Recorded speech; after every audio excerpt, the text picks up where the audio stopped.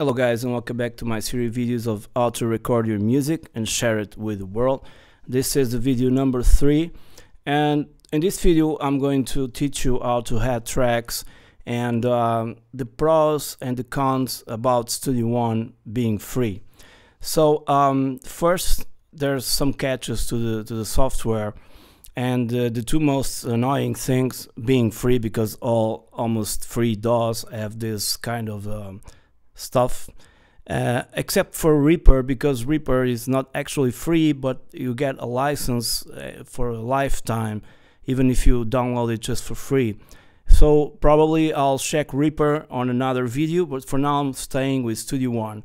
And uh, about Studio One, if you want to unlock the two things I'm going to talk about, the first thing is not being able to import MP3, and that's uh, kind of annoying because you know, when you have a backing track that you've downloaded from the internet, naturally or normally comes in MP3, so you have to convert the MP3 to WAV in order to import into Studio One.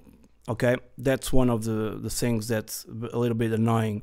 the second one being the fact that you cannot use third-party plugins.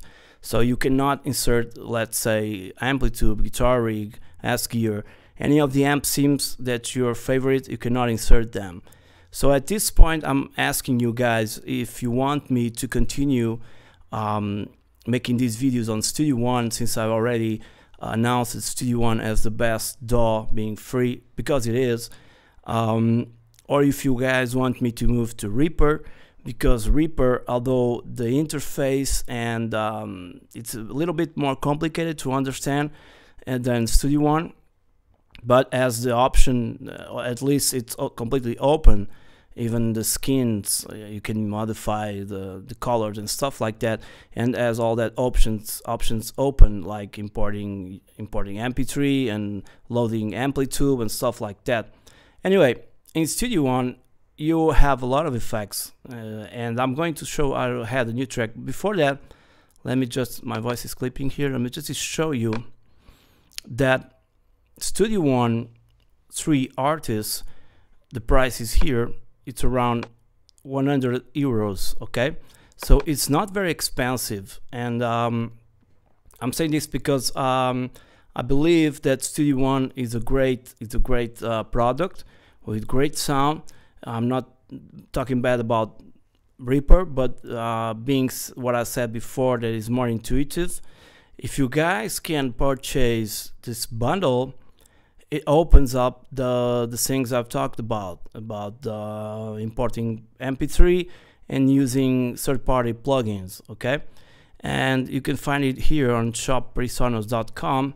Also, you have everything here the features included and also the tech specs from your computer being a Mac or Windows okay? Uh, it's very simple to understand this. So check out this I'll put a link in the description below after the video. So I already had a track for my voice. Now I'm going here. There are shortcuts of course and the more you use them the best because you get used to it and the workflow is much faster. But by now I'm going to track and you see here in this menu there's a bunch of different things like add tracks. You choose several tracks different formats. Add audio track add audio track stereo mono stereo instrument track and so on okay? For now we're going to just add an audio track mono because that's where we want to input our guitar okay? So click here. And this is a track okay now, here in the left corner, you can see that my input is all, all it's the same input as my voice. So I'm not going to click here to monitor the sound or I'll be uh, having double voice, okay? So I'm going to choose my Scarlett as two inputs.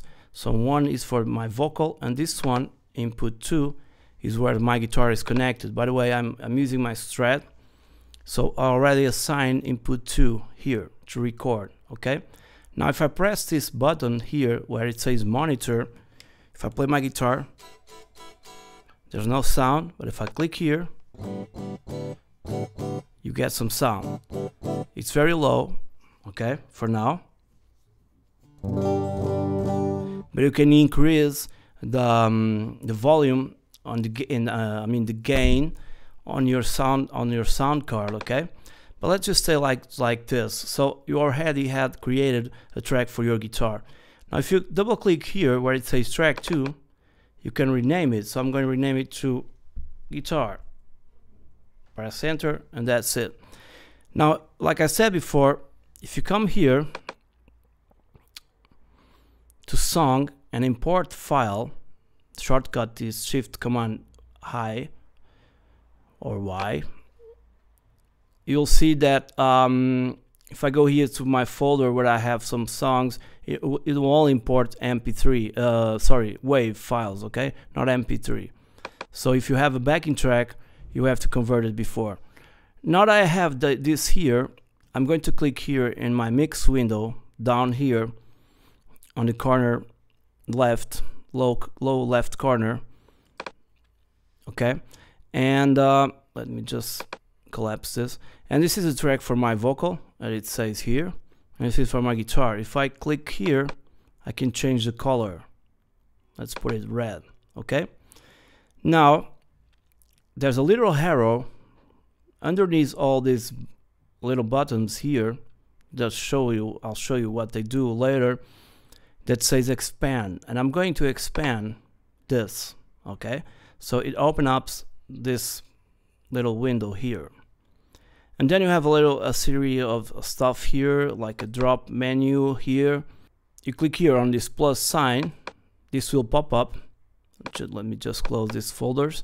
A lot of folders with plugins for analysis delay distortion mixing modulation and reverb. I want to go here to distortion and if I click here Ampire this is the amp that comes with the Studio One free it will open up okay? Now my guitar already has another sound a guitar sound. It's not perfect but it's not bad at all. You have two channels here channel A.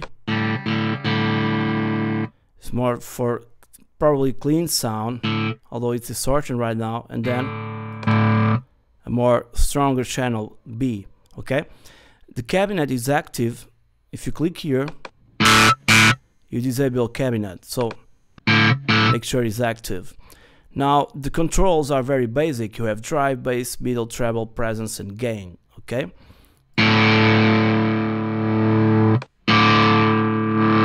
Drive and gain is sort of the same thing. Uh, so this is the ampli amplifier that comes with Studio One. You see here the, the tubes glowing that comes um, with this free version. But there's nothing wrong with it because you can um, make your sound make and sound great anyway.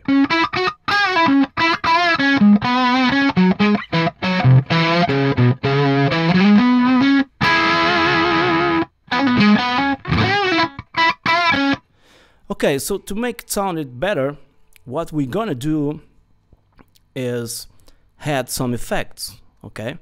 Uh, I mean effects like EQ and effects like modulation or chorus or delay or reverb or something like that. So uh, first I want to add an EQ. So I'll stay here in this little window and press plus and I'm going here to mixing and there's this channel strip that has compression and EQ and stuff like that. So I'm gonna click it okay? You don't have to mess around right in the left here but you have a three band EQ okay? So you can click in one of the dots and if I turn it up or down you'll see that it reflects here on the right panel. Okay? So you can do this with your mouse or you can do this just with the knobs here. I'm already changing my sound one of the common problems of um, amp sims is the fizziness they always have, especially when they are completely free. So I'm got, gonna, gonna get rid of that fizziness because that fizziness is related to the high-end content of the of the sound. So I'm going here to the highs and I'm going to decrease this. Okay, it's a sort of a high-pass filter, a low-pass filter. I mean you can further adjust here where you want to go. This is a frequency frequency you want to cut. Right now it's in 8k and this is the gain uh, the amount of decibels that you're cutting. Right now it's in minus 11 if I bypass this here on this button blue button